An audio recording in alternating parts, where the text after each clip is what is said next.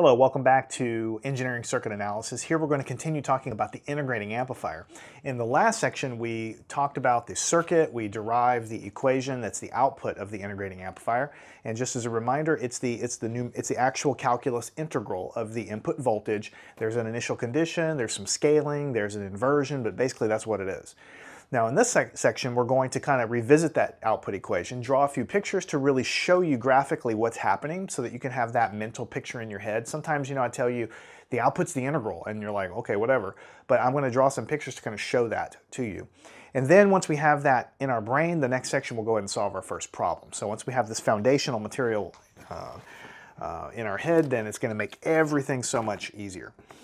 All right, so you're gonna have to recall, I shouldn't have erased it, but that uh, that circuit that's the integrating amplifier, it's exactly like an inverting configuration, except that feedback resistor is a capacitance.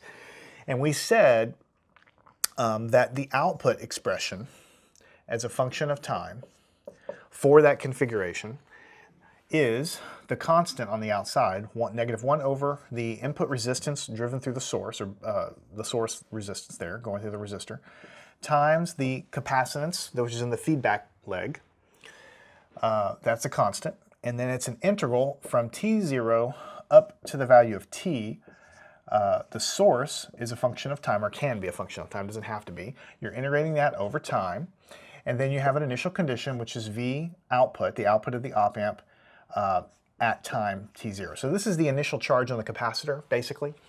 So again, in words, the output of this guy is going to be the initial output at time zero, that's where we're starting, plus whatever the area under this curve is up to this point in time t, where that's where we stop it. The integration is finished uh, uh, up to that point, and that's the output voltage at that instant of time t, right?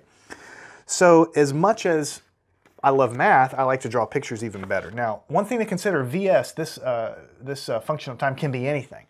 It can literally be a sinusoid, it can be a crazy a set of sinusoids summed together, like voice from a microphone might have that kind of characteristic. It could be a triangle pulse up and down. It could be a square pulse, right? So since we're trying to illustrate the math and kind of make sure you understand things, what we're going to do is draw an input to this amplifier, which is just a simple square pulse. And it goes, it'll go down below the axis as well, because that's really easy to draw areas of so that you can see what's happening. So let's go ahead and do that. Let's go ahead and draw, hmm, what's going to be the best way to do this? Uh, let's do a square pulse. Input. And again, the input can be anything. We're just picking this because it's easy to understand.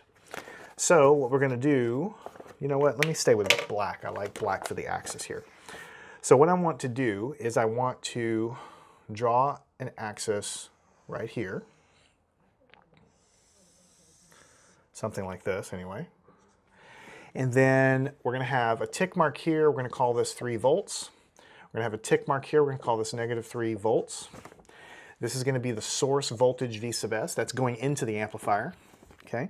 And then let's do over here, right here, we're to call this T sub 1. And then over here, we're to call this 2 times t sub 1. So I could put, you know, 1 second, 2 second, 3 seconds. I could do that, but it's to make the math a little bit more general and a little more powerful for you to see it like this. This is not exactly right, but these, these widths should be pretty close to, to being the same. All right, so let's get let's cut to the punchline here. We have a square pulse that we're going to start up at time zero. So this is this is time t right here. At time zero, it's zero volts exactly, but a, but right a tiny little millisecond at zero itself, it pops up up to the three volt mark, and it stays constant. That's what a square pulse is. Now at time t1, whatever it is, it's going to drop right through the axis and go straight down to the negative 3 volt area. And then it's going to go over here for the same exact duration of time. This is t and this is 2t, so this is the same thing. And then it's going to go back up.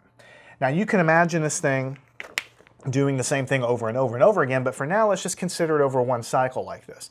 Now you know from looking at this that since this width is the same as this width, and since this height is the same as this height, you know the area under this curve is going to be the same as the area under this curve. So I'm kind of giving the punchline a little bit uh, away a little bit, but the point is you, you, you understand that. Now what I want to do, actually, I think what I want to do I want to I want to not write the math under here because I'm going to draw another picture under here in a second, but let's go over to the other board